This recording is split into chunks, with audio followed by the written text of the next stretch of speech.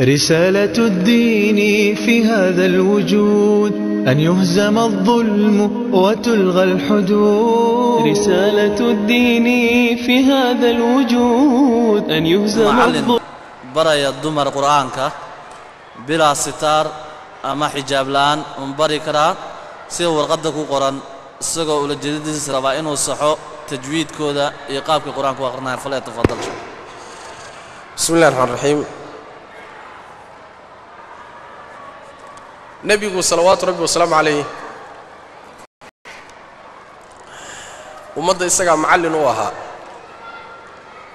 Rag iyo dumarbana isagaa diinta laga qaadan jiray. Dumarkuna masaajidka dhankiisa dambey fadhiisan jireen. Wax xaa'il ah iyo wax derbi ah iyo wax maroo u dhaxayn jirtayna ma laha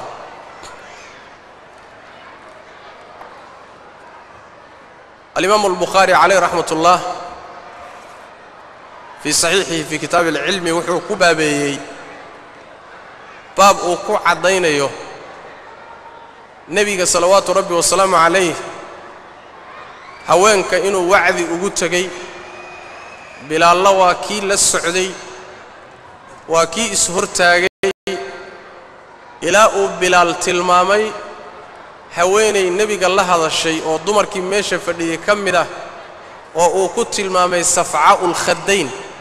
Dhabankeeda xataa si uu yaallay uu tilmaamay.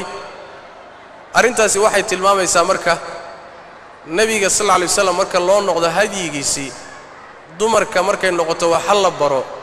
Isagoon wax xijaaba u dhaxaynin buu wax bari jiray. Rasuulku salawaatu rabbi wasalaamu calayh.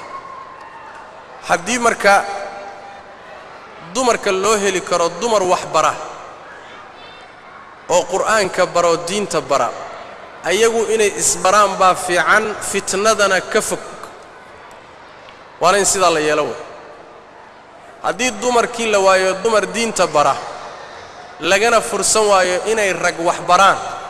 Haddana waxaan leenahay haddii la heli karo oy suroobi karto tacliinta dumarka la siinayo ay tahay dersi la siinayo oo kale oo markaa u baahnayn inay macallinka arkaan. Waxba loogama baahna markaa inuu soo hor istaago oo macnaha waxa weeye uusan macnaha waxa weye ay fiiriyaan waxba ugama baahna markaa.